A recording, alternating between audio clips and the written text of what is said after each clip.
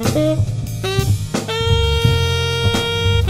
right, uh, welcome to another week of Democracy with the Diamondstones. I'm Owen Diamondstone. And I'm Natasha Diamondstone. I'm Peter Diamondstone, and I'm related to these two. Uh, last week, we discussed whether it was possible for meaningful change to happen from within the Democratic Party or whether change would have to happen outside the party. So perhaps we'll recap that quickly and then discuss what form that change might happen if it wasn't able to take place within the Democratic Party. And I think I suggested that required reading for this session would be Peter Camejo's Avocado Declaration. Camejo was in his early years a member of the SWP, if I recall right. He may even have been a presidential candidate, but then became a member of Peace and Freedom in California and a candidate for governor in that screwed up uh, election that ended up making Schwarzenegger or whoever it was. Uh, Camejo's thinking on the relationship of the Democratic and Republican parties to each other is really paramount to understanding that no change can take place, or at least the Democratic Party exists for the purpose of limiting change for the protection of the holders of capital in this country. Um, so you're saying, saying that this man had a writing um, about no change being possible in the system that we have now? Not is that, that what no you're saying? change is possible, but the purpose of the Democratic Party is to limit it so nothing serious can happen. Okay. All right, it's not that no change can happen. We have to look, explore some topics that the Democratic and Republican parties, the Green Party, the Reform Party, the capitalist parties, no matter big one or small one, will never explore. And yet, they are things about which we have some kind of hunch. Start with paying fines. A fine as a criminal penalty is really the imprisonment of yesterday, not the whole of yesterday, not the part of yesterday when you slept or when you eat, but the part of yesterday when you worked. Mm-hmm. So if you make, if there's a fine of $100 and you made $10 an hour, the fine is the imprisonment of 10 hours. If you made $20 an hour, it's the imprisonment of five hours. But supposing you don't get paid by the hour, you just get money from your investments. Uh huh. Right? How can you a fine have any effect on your life? It can't. You can't imprison yesterday's hours for a person who doesn't get paid by the hour, who just collects coupons, Mm-hmm. or who makes capital gain. Could so what you're saying is fines they aren't an egalitarian way of um, punishing people for infractions of the law. They but, should, people should just go to jail. but could that could that change happen necessarily within the system? That seems like a change that I don't know. Is there any reason why a major political party couldn't put abolish all fines on their platform? and put all penalty, criminal penalties as time in jail? Well, that would be very expensive for taxpayers. Only if you made not uh, silly things criminal, like smoking marijuana. Which is currently. Yeah, so you get lots of people going to prison for doing stupid things. What about I mean, for what stupid about reasons. stupid things like driving too fast? We fine a lot of people for driving too fast. Yeah. And there's got to be some way to keep people from driving too fast. Send them to prison. So s- speeders should be sent to prison. So what happens to the wealthy guy whose chauffeur is driving for him? Mm, Does he go to prison? question. I, I ask you, what what would happen to the chauffeur? Would we send the chauffeur to prison? No. We make only one class of wealth holders. Everybody owns approximately the same amount of wealth from one end of the earth to the other. No distinctions between Bangladeshi and US citizens. With lots of prisons. What? With lots of prisons for speeders. for speeders. Now, that it may be that the, you'll only go for two hours. Mm. Right, so, you Oh, know. to prison for to two prison hours. for two hours for speeding. But but like then putting a is kid it in the corner or, you know, time out. If you had a classless society where everyone was getting paid equally for their labors, then finding them a fixed amount would also be equal That's right. to their labor. So you Now- could now find fine- people now- and you yeah, wouldn't have to right. imprison them. Right. But a fine has so But much only when all people are earning. up, not earning, but own approximately, because it's the earning that's not really crucial, uh, but that the ownership of the society's particularly productive wealth is shared by all the people of the planet. And I would start with the drug companies. Now you hear the, the Democrats and the Republicans talk about whether we could get drug prices down. Well, if we owned the drug company, we wouldn't have to have the discussion, would we? That's Yeah. the key.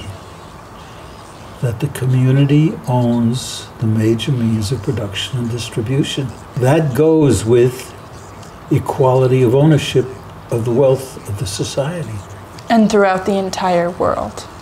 Yeah, you can't do it in one in Venezuela and not in Mexico, in Mexico and not in the United States. And that's the reason is that as long as there is one, particularly one that can rip off its people so that it can have an expensive military, if there's one that can do that, the capitalist system will do everything in its power to prevent the change that is brought about by Yeah. community ownership.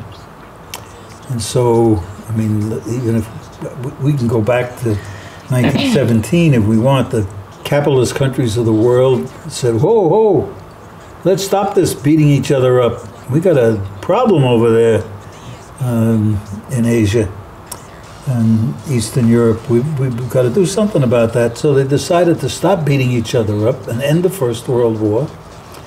And then they shook hands and they invaded the Soviet Union and conquered most of the Soviet Union. Where, where this, where's the justification for that? What's in, more interesting is how come they chose the 11th of November? It's the hanging day of the Haymarket Martyrs Martyrs, yeah. co-opt the holiday. And they did.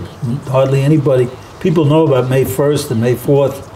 You know, May 1st and May 4th is when uh, students were fired on in Kent State, when Tiananmen Square started, uh, when Mao Zedong started his first demonstration in uh, Shanghai, I think it was. So May 4th and May 1st still retain visibility, but May, but November 11th is lost.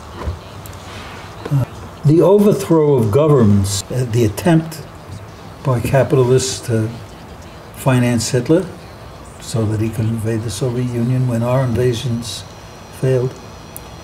And, uh, Mossadegh in 1953. I mean, you can recite forever. Every time and, and the more the one of the more interesting ones was I um Arbenz he didn't want to take property away from the wealthy in Guatemala. He just wanted to give a little bit of state land to everybody so that they could support themselves and do, do subsistence farming. Well, that's depriving capitalism of its source of, source of wealth, which is somebody else's labor. Uh huh. So Hillary Clinton was the one who um, had people go into Guatemala and crush that movement, right? No, that was later. No? That was No, no, totally that's, different. no, Oh, that's, okay. no, I think, I think that What am I thinking of? You're thinking about something more recent in Honduras. Honduras maybe Okay. recently. But, you know, as we do regime change, Saddam Hussein was a communist. Everybody got education that they needed or wanted the- at popular expense. Libya and Gaddafi's, you know, that one's probably the, one of the more interesting since we've been battling with Libya since um, 1800. Uh, and Benghazi and Tripoli had opposing governments back then. We mentioned one, but how about not dealing with fines, which can point out we can deal with if everybody has the same If, if money is the worth, it has the same worth to everyone. everybody. Yeah. But how about government interference in the market for the protection of the capitalists known as patents? And that's, without patents, government interference, we could have. Terrible word. Competition. Competition. or cooperation, but it's patents that make capitalism possible. Patents and copyrights. I mean, um, why shouldn't somebody be able to copy the book and print it and sell it somewhere else without paying the author? The author did gave what the author could, from each according to ability, to each according to need. So if the author needs food, the society will provide food. One might take the argument that um, patenting and protecting people's rights to intellectual and physical inventions, Property. property, um, facilitates people's desire to make new innovations and discoveries. And without without the reward promised by patents and copyright, people would be less inclined to innovate. Nice. You mean we're not going to get a new form of system every couple of years on our computers that we can buy another system? Exactly. and yeah, well. Uh, Or I- we- I- We'll I all would- become farmers. we might not I would new be inclined to medicines say- or We- You think that the scientists who do that research would are motivated principally by money? no, I'm not. I'm trying to hold that argument. Oh, This is Good. not me arguing. This is Okay. me holding is that an is an perspective. is, is an argument about the issue. I see. I think we people would do that. We'd get more books written and more to think, more innovation if we didn't have the patents and copyrights which restrict people from really making progress. And the next step probably would be to reduce the work week to whatever we get paid an hour, f- reduce it to 20 hours a week because we really don't need to be working these many hours to produce more words that I probably shouldn't use on television. Um, You'd get them bleeped out. get them bleeped. I recently read an article um, saying that the best thing you can possibly do for the environment is cut back your work week. Is that work, right? Just work less hours. oh, gee, that, that was a good shot, wasn't it? Yeah. Oh, I was lucky. I don't always come out that lucky. I think it might have been a German study. Uh It makes sense. Not to produce so many automobiles, not to produce so many trips around the world sponsored by somebody on PBS that doesn't have sponsors, you remember? Um, and that's that brings me to another one. Tax exemptions for the wealthy.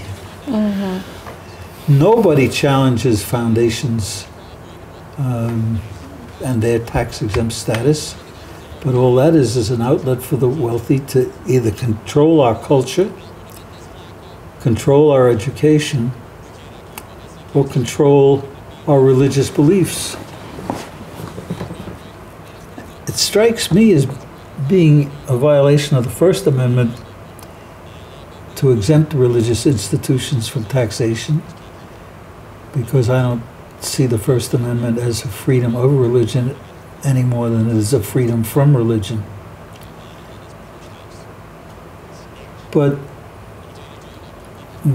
the fact that it violates the Constitution is arguable one way or another, but it isn't important. What's important is somebody's beliefs are getting subsidized by the people who don't agree with those beliefs. Why is it that we have so much British culture on public television? I don't know. Who made the choices? Well, the wealthy through um, their foundations. The Ford Foundation. I think something's dripping. Is there a hole in the ceiling? There's a hole in the bucket, dear Liza, dear Liza. Well, okay, so you're saying that That's the kind of subject that the two-party system, the capitalist political system will never consider. That is, Harvard, we, the ordinary people, are supporting the people who go to Harvard with a tax exemption on their ownership in stock. and we the ordinary uh, non non um, religious are supporting churches around the country Yeah. by providing them with a police force to protect them and roads to get to the churches but not taxing the churches themselves mm-hmm. Going back to what you said, change, big change, is not possible in this two party system. You just said that. So it needs to come from the people. So change needs to have a grassroots startup. And the people of the entire world need to have that common interest in mind, is what you're saying, right? And it's, In a nutshell. It's particularly difficult here because the wealthy control culture, Mm-hmm. the wealthy control religion, the wealthy control education.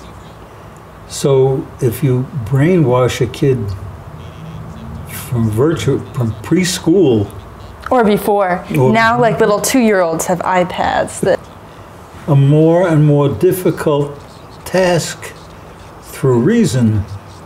And so now it has to come through that. We know that there's something wrong about Harvard not paying taxes on its uh, investment income. I didn't know that. I guess I've been brainwashed. Well, when you hear it, you know there's something wrong. And there's something wrong with religious institutions' belief in, believe whatever you call yourself a religion, whether it's Scientology or Christianity. I mean, define cult, and you'll find Christianity is a cult. Um,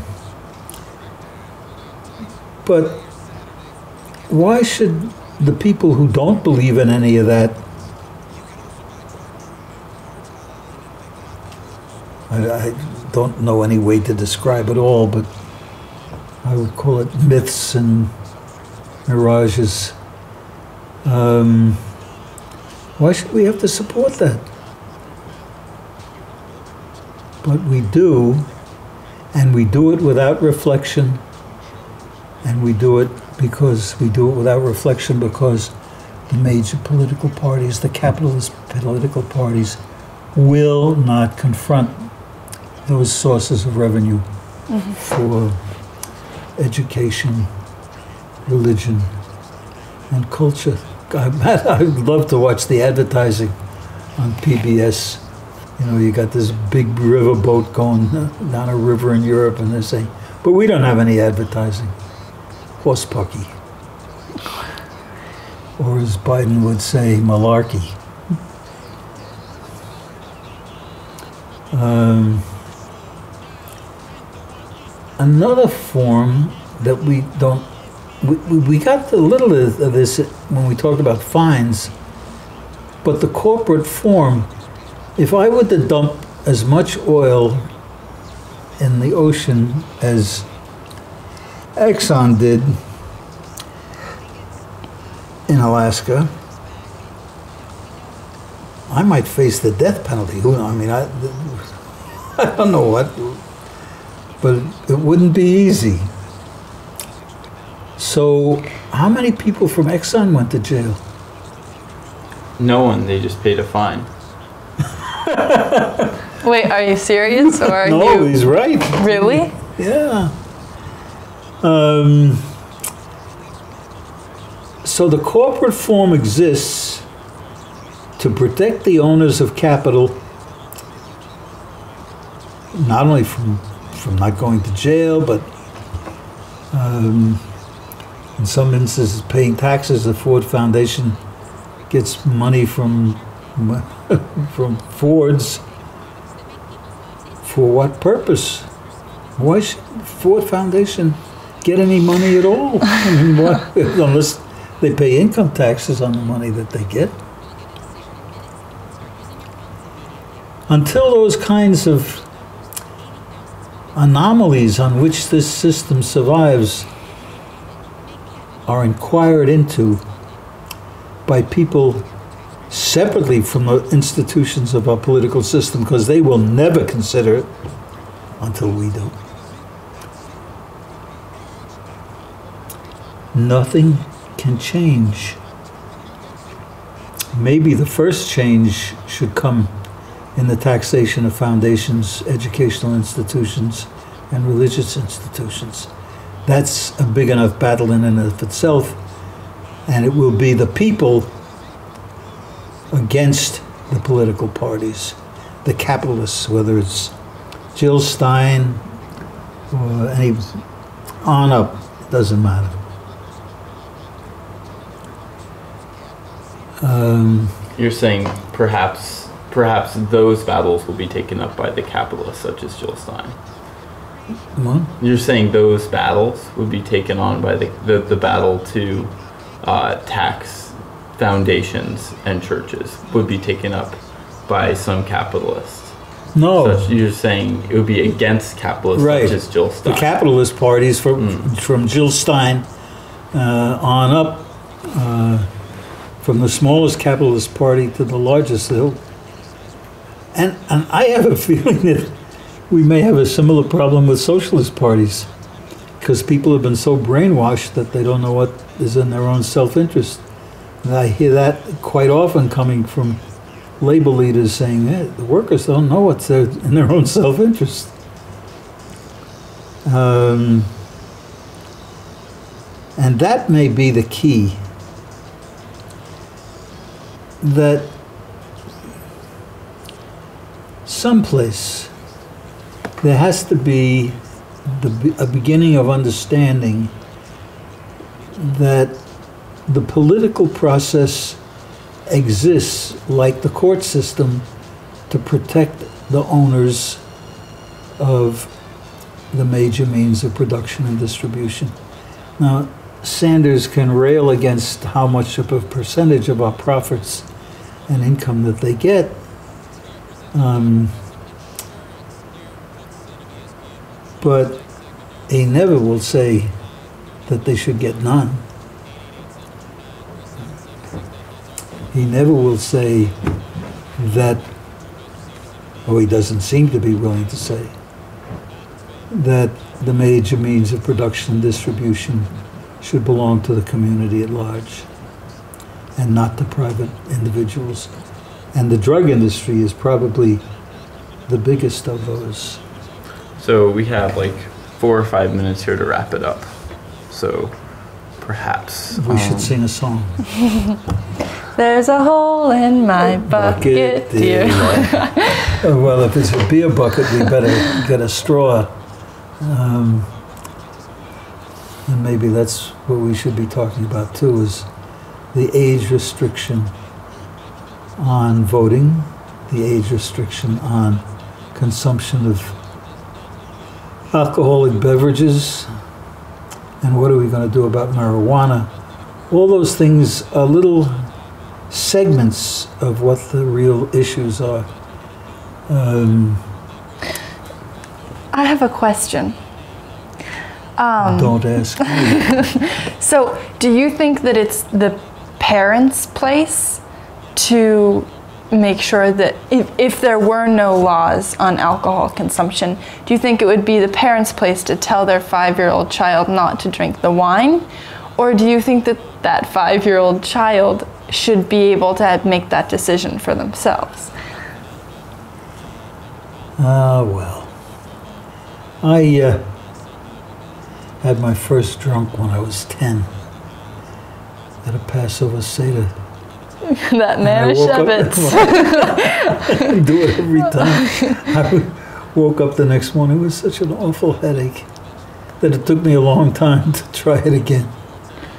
So- Um, experiential learning may be useful, may not be the only way to go, but um, it has its merits. You don't just tell the kid, "Oh, put your hand there, right there on that stove top." um, maybe you can warn them about it. You can't warn my cat. Uh, she's going to get it one of these days. Um, I don't know how to deal with issues like that. Um, and one of the things I need to tell you, it, in in the process of change, I don't really have a lot of answers. Mm-hmm. I know what things need to be altered, banished. I mean, I can talk about the age of voting and say we should have no voting age. And Yeah. I've been saying that for as long as I can remember. There should be no restriction on voting age. They can't do any worse than we do. And my son comes back from a trip to Spain. And he says the kids come out of school in the afternoon and go sit down and have a, not a milkshake but a glass of wine. Uh, he says the only the only drunken kids he saw were the tourists. Right? So maybe experiential learning works in more ways and, and it's perfectly safe. And you know things like prostitution being legal. I mean, that really, or in criminal prosecutions, you don't prosecute the, pros, the, the prostitute, you prosecute the Johns. That seems to me to be a crucial issue in, in liberation of people, but will never get raised on more than this. Can we make money taxing it like we can we make money on marijuana taxing it? And Liberty Union has taken the position, no. Um, the state can't make, should not make money, a profit on its drug sales, because that leaves an opening for a black market. And the one thing you want to eliminate from the system is private enterprise in the black market. Okay. All right. Well, with that, I think we'll call this session of Democracy with the Diamondstones. And don't, and don't forget to take a look at Avocado Declaration. I've got it up Yeah. right here. All right. Thank you. Thank you. See you next week. Or next month.